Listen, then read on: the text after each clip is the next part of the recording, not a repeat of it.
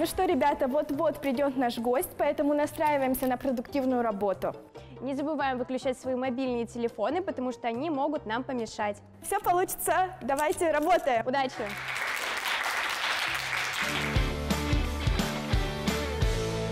Мы можем начать? Здравствуйте, Лейла. Мы рады, что вы пришли к нам. Какую главную мысль вы бы хотели донести сегодня ребятам? Я бы хотела, чтобы каждый из них э, на своем пути творческом, творческом относился ко всему с любовью и с самоотдачей и чувствовал себя, выражение себя через свое творчество. Прекрасно, давайте пройдем. Присаживайтесь. Всем привет! В эфире программа «Мне только спросить». Сегодня здесь собрались любознательные журналисты, которым не терпится задать свои вопросы. Ребята, давайте поаплодируем нашему гостю Лейле Мурадовой.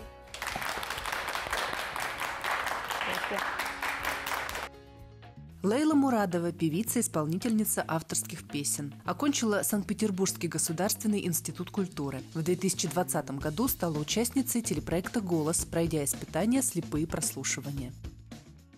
Тогда не будем терять ни минуты. Кто хочет начать? Вика, пожалуйста. Здравствуйте, Лейла. Здравствуйте. Расскажите нам о начале своего творчества. Когда вы начали петь? Э, Я думаю, что началось все с музыкальной школы. Я в 12 лет начала грезить мечтой о создании своей рок-группы. Я хотела, чтобы на мне висела гитара, чтобы я могла волосами вот так вот сделать и, и петь что-то светлое, чувственное, чтобы людей призывать к выходу из состояния кризиса, вот так вот скажем.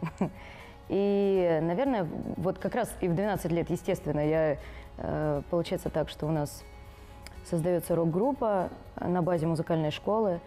Она называлась «Дилемма». «Дилемма», потому что там были Дима, Лейла, Маша.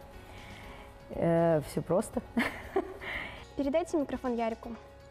Лейла, как отнеслись к вашему таланту ваши родители? Очень хорошо. Я счастлива, я вообще счастлива, потому что э, мне позволялось над своей кроватью писать на, на стенах э, там, свои какие-то первые стихи, стихотворения, такие четверостишечки. И э, для меня это было как э, я чувствовала себя творцом. Вот в свои 12 лет я такая могу, я сплю, а потом такая просыпаюсь и записываю заметки на, на стенах. Ну, для меня это было очень, очень романтично, очень поэтично. И э, ну, мне позволялось все, я расписывала холодильники какими-то первыми своими картинами. Э, И мне это все разрешалось, и я думаю, что это и послужило тому, что, тому, что я могу выражаться, не боясь, что мне скажут, а ну-ка, стоп, подожди-ка, вот этого не, это, это не трогай, это нельзя. Спасибо большое. Здорово, что ваши родители поддержали вас. Да, это, да, это круто, да. Следующий вопрос у нас у Эли. Здравствуйте. А чья была инициатива пойти на проект «Голос»? Моего мужа. Мы с ним по совместительству играем в одной группе. Он создал эту группу, и э, позже э, мы с ним поженились. И спустя 4-5 лет все-таки была какая-то пунктик, что нужно идти на голос. У нас уже за, за плечами было одно шоу песни на ТНТ, и все-таки жажда окунуться в очередное шоу и попробовать свои силы, это, это конечно, было ну, интересно. Спасибо. Как раз в проекте «Голос». Когда смотришь программу, создается впечатление такого идеального шоу. Так ли это на самом деле или есть некие подводные камни? А что вы имеете в виду под идеальным шоу? Ну, кар- шикарная картинка, то есть все замечательно. Ну, Такая прям лоск и шик. А может быть, на самом деле это не так, и что-то там есть э, не такое... Ну, лоск и шик это, это декорации, ну, конечно и, же, в да? принципе, в атмосфере чувствуется, что такая весь позитив, драйв. Или, может быть, на самом деле это не так? Э, Ну, что не лоск? Наверное, то, что это все снималось э, в огромном бараке на Мосфильме, То есть это все огромная территория, большущая территория, которая, которая звенит, которая ты заходишь, ты чувствуешь, что ты в большущем гараже находишься. Но когда ты заходишь э, в, в декорации именно голоса, ты понимаешь, что да, это космос, это вот ты, ты вступаешь в какую-то космическую э, космический корабль, который действительно работает очень слаженно. И что было за кулисами, что дает этот драйв? Конечно же, адреналин. Потому что ты понимаешь, что ты сейчас должен выйти и показать себя на максимум именно в эти три минуты, там, две с половиной минуты, которые тебе отдается. И, и все. И как-то как получается, что это выходит весело. Спасибо. А следующий вопрос от Дениса. А что вы чувствовали, когда к вам вернулись все жюри? А я сначала вообще не поняла, что произошло, потому что это было в пандемию, и мы давным-давно не играли на такую большую площадку концертов.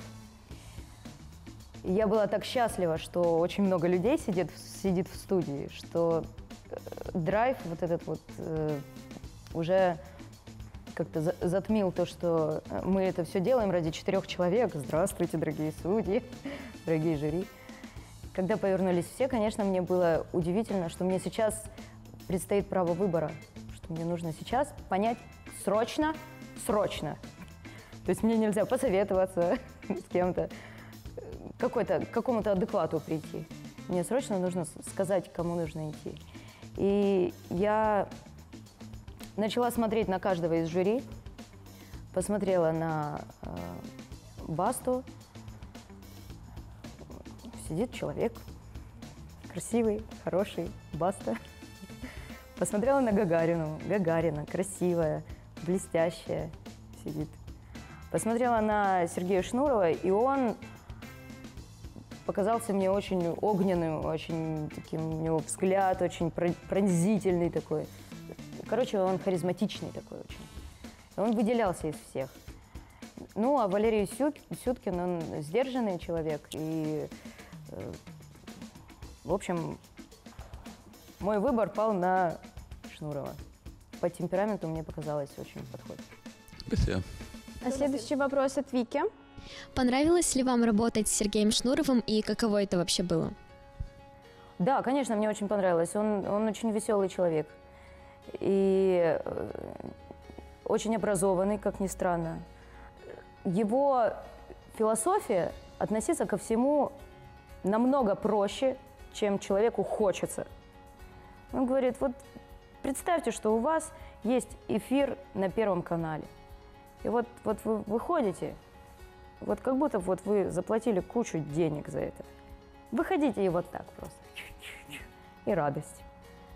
Это, это что? Это, с одной стороны, это обесценивание того, что сейчас мне нужно погрузиться и выйти в этот опыт. А с другой стороны, ты понимаешь, что все это относительно. Ты действительно можешь, можешь выйти и устроить самому себе праздник. А когда ты устраиваешь себе праздник, это чувствуют люди и сами находятся вот в вибрациях праздничных. Вот этих. Спасибо большое. Следующий вопрос у нас от Полины. Есть ли у вас кумир в музыке и почему вам нравится его творчество? Ой, мне очень нравятся э, различные, очень нравятся различные команды. Например, Снарки Папи – это очень интересная музыка. Кто-нибудь слышал Снарки Папи? Спасибо! Как тебя зовут? Полина. Снарки Папи очень интересная музыка, музыка для, можно сказать, для знатоков. Э, потом мне очень нравится Нино Катамадзе, ее подачей, ее исцеляющими такими вибрациями. Она выходит на сцену, и э, на концертах все погружаются в состояние очищения. Мне кажется, что музыка должна влиять на человека, влиять на слушателя целительным образом есть музыка, которая разрушает.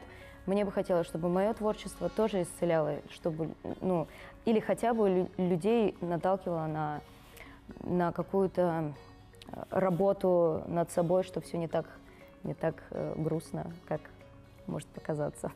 Спасибо. И заключительный вопрос у нас от Насти. Проявляет ли ваша дочь себя в творчестве и хотели бы вы, чтобы она стала певицей? Я бы хотела, чтобы она себя проявляла в творчестве. А через что она это будет делать, я, я буду наблюдать. Очень классно, спасибо. Ну что ж, а время нашей передачи подходит к концу, поэтому по традиции у нас Блиц «Закончите фразу». Проект «Голос» успешен, потому что...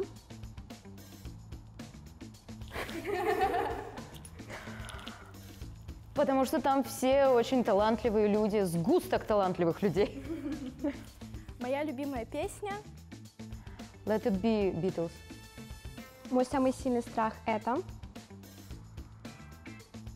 Темноты? Темноты. Процесс, который доставляет мне максимум удовольствия, это Пение. Исключительно только именно. Сегодня я чувствовала себя у вас. Очень комфортно и, и спасибо вам за это. Вам спасибо. Вам спасибо за столь увлекательную, интересную беседу. Ребята, давайте еще раз поаплодируем нашему гостю. Спасибо. Спасибо. Друзья, не забывайте, что нет ничего невозможного, и каждый из вас может добиться любых высот. Всем пока! Лейла – это человек просто с невероятной энергетикой. Общаться с ней безумно приятно, тем более слушать историю про ее жизнь, про ее опыт участия в различных телешоу. Это очень познавательно и интересно. Лейла настолько яркий и необычный человек, она просто заряжает своей энергией, и после интервью с ней хочется идти и развиваться в творчестве, петь, играть, рисовать. Вообще, Лейла прекрасный просто человек. Мы с ней очень сильно похожи. Как, к примеру, сейчас расскажу пару сходств. Как она очень сильно боится темноты, я тоже боюсь темноты и замкнутых пространств. Вообще, ну просто она сама очень милая, такая красивая. Я, она мне понравилась просто так, так что она самый мой лучший человек пока здесь, кого я нашла.